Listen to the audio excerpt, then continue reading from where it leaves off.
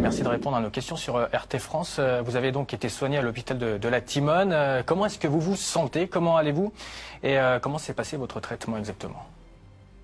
Bah écoutez, aujourd'hui je me sens très bien, j'ai quasiment plus de symptômes, mis à part l'odorat et le goût qui ne sont toujours pas revenus, mais j'ai plus tous les maux de tête, la fatigue, la nausée que je pouvais avoir précédemment. Euh, après, pour ce qui s'agit du, du, traitement, bah, écoutez, à partir du moment où je me suis fait dépister, moi je me suis fait dépister le 21. Euh, j'étais positif. Euh, dès le lendemain, on m'a appelé, euh, enfin la Timone m'a appelé et m'a proposé euh, de, de, prendre le traitement. Donc j'y suis retournée le 23. Là, je me suis bien fait expliquer euh, tout, on va dire, les tenants et les aboutissants de, de ce traitement, euh, quels risques j'encourais, euh, quels effets secondaires je pouvais avoir, étant donné que mes, mes, mes symptômes de base n'étaient pas très importants, à, à mon avis. Euh, et à partir de ce moment... Euh, ces risques et ces effets secondaires qui vous ont été expliqués, et avez-vous eu des effets secondaires? Eh ben, écoutez, on m'a dit que les effets secondaires, euh, ça pouvait être euh, la nausée, enfin voilà, un petit peu de être euh, être fatigué aussi, mais rien de plus important que ce que j'avais déjà.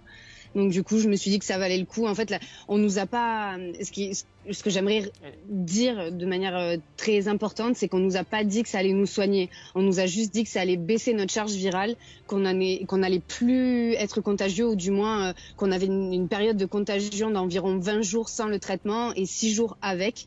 Donc du coup, bah, j'ai décidé de, le prendre tout simplement pour protéger les gens qui sont autour de moi, même si aujourd'hui je suis confinée et que je vois personne. Euh, je, trouvais important de justement ne plus, euh, ne plus être contagieuse, quoi. Vous parlez de, de nausées, euh, on parle également euh, de symptômes liés euh, à des problèmes ophtalmiques ou encore à des problèmes cardiaques. Est-ce que vous avez eu des problèmes à, ce niveau-là? Est-ce que vous avez été informé à, à ce niveau-là également? Oui, en fait, moi j'ai eu, on va dire, au tout début mes symptômes, euh, et c'est ceux qui m'ont alerté. Euh, j'avais des quintes de toux sèches que j'avais jamais eu auparavant.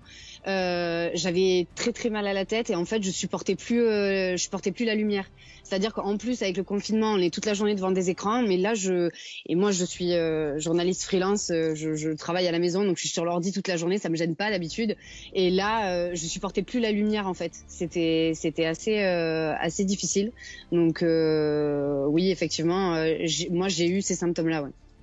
Euh, quelle est votre réaction quand on sait que les États-Unis ou encore le, Maroc autorisent euh, le traitement et, pas la France? Bah écoutez, moi aujourd'hui tout ça, je trouve ça très très politique. Euh, le, fait est que moi j'étais assez euh, j'étais assez démunie. La Timone c'est on va dire au bout de ma rue. Et ce, je suis partie du principe que le centre de Méditerranée infection il est là depuis bien plus longtemps. Il n'a pas attendu le coronavirus pour être là et pour étudier les infections. Donc j'ai préféré m'en remettre aux mains de personnes qui qui étaient un peu experts en la matière si je puis dire. Euh, donc voilà, après, ben, c'est sûr que le protocole n'est pas, j'imagine, forcément le même que d'habitude, mais bon, à situation exceptionnelle, mesure exceptionnelle, j'ai envie de dire. On et, et est-ce que vous comprenez les réticences d'une partie de la communauté euh, scientifique par rapport à ce traitement? Euh, oui, oui, oui, euh, je peux comprendre parce que effectivement, euh, j'ai bien l'impression que le professeur Raoult c'est pas quelqu'un qui qui fait euh, forcément les choses bien comme il faut. donc voilà, je peux comprendre que des personnes qui sont dans son corps de métier trouvent que c'est un peu un peu prématuré, disons. Mais mais après comme je tiens encore à le préciser, euh, nous, euh, enfin son équipe et lui, ils se sont pas présentés comme étant les prophètes et comme étant euh, ceux qui vont guérir à la France entière, mais plutôt nous, on nous a dit, écoutez, ça va baisser votre charge virale et aujourd'hui l'objectif c'est c'est de de, de comment dire, de réduire cette pandémie quoi. Donc si on peut avoir un impact sur votre votre dangerosité en fait, votre contagion, ben on va le faire. Sur le, site internet de l'IHU Méditerranée euh, Infection d'aujourd'hui, les chiffres annoncent 1291 patients jusque-là traités à l'hydroxychloroquine et à, l'azithromycine, euh, pour seulement un mort jusque-là. Euh, motif d'espoir selon vous?